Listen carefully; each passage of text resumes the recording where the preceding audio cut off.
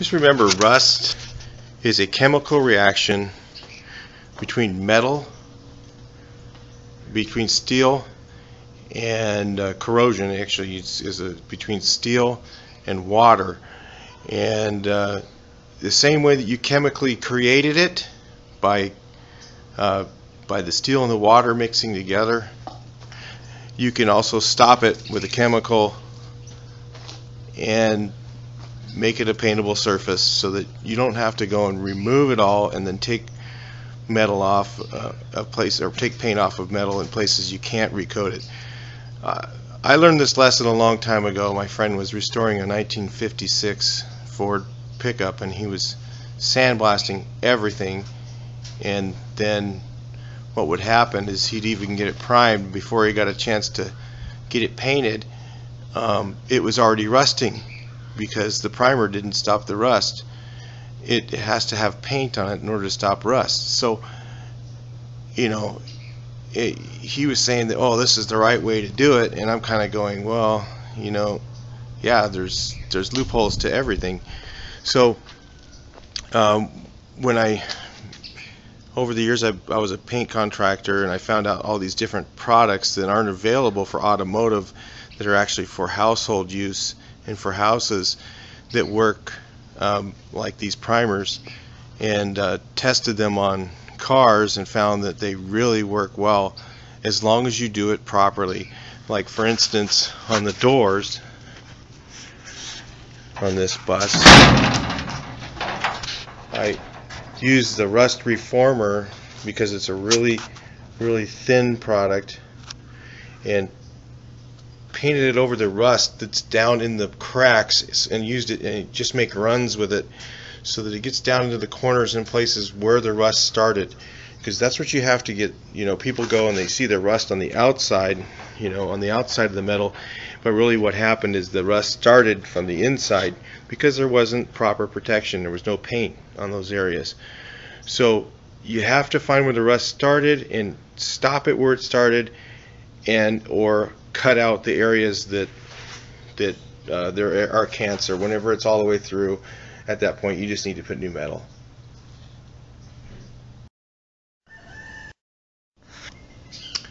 Okay what I want to talk about today is Volkswagen buses and rust.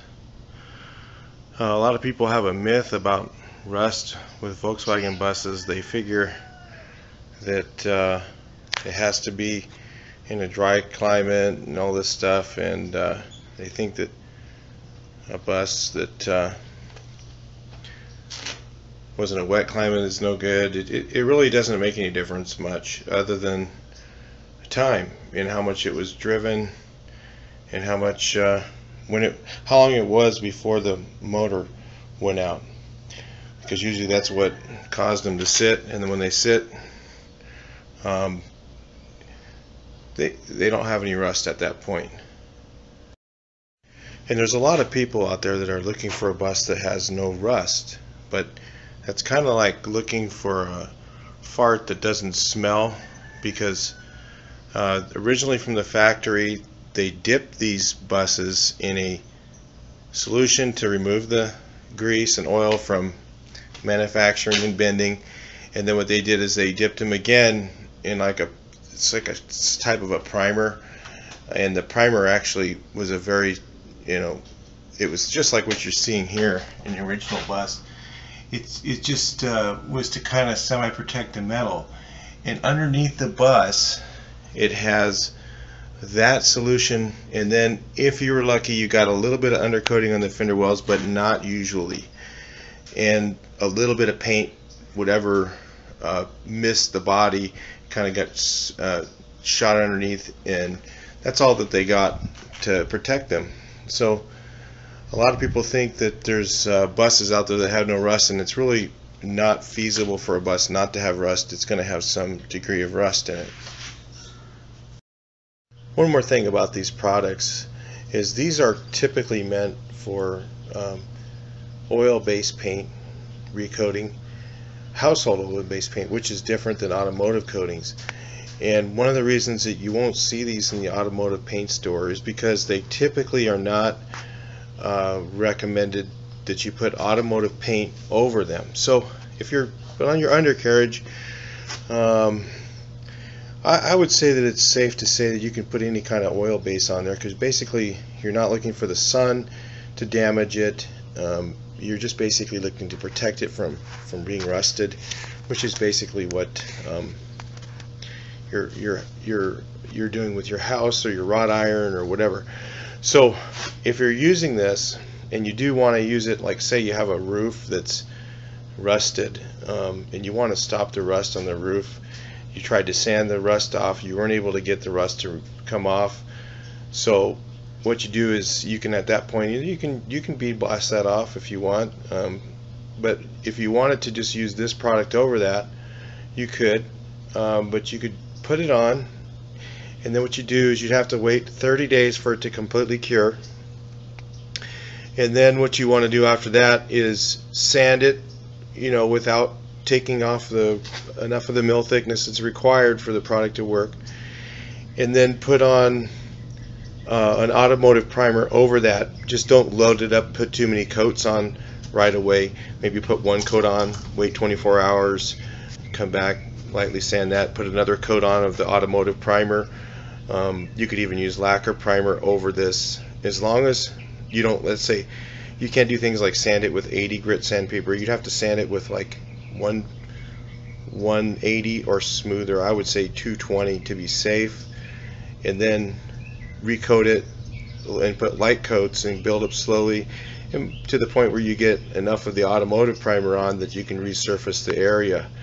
So you can't, and then at that point you can put automotive paint over it. Um, the same thing is if you don't, if you're putting lacquer on, then I wouldn't recommend it. You, you can't use lacquer over this, but you could use uh, urethane paints or whatever as long as you, you know, convert it slowly.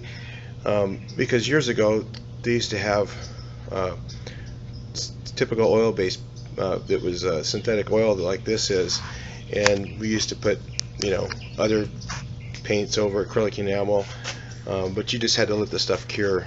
So, you know, there are some things like that that you need to maybe do a test area, you know, and make sure that your paint's not going to wrinkle that you put over it. But it usually doesn't as long as you let it cure and recoat it with an automotive primer. So that's also available for you. Here's a couple of the products that you can use to stop rust um, that work very well. Um, you're all familiar with Rust-Oleum. They have this available in spray cans and in uh, gallons. It's called Heavy Heavy Rust Primer. So uh, make sure it's not just a regular primer. They have one that they all say stops rust. Okay, but the one that has the proper chemicals in it is either this rust reformer from Rust-Oleum or they have this let me see if I can find the label um, it actually says it's for it, it actually says on it stops rust dead I believe they have another one called uh, Rust Defender it's another brand does the same thing Here's a spray can of the same product.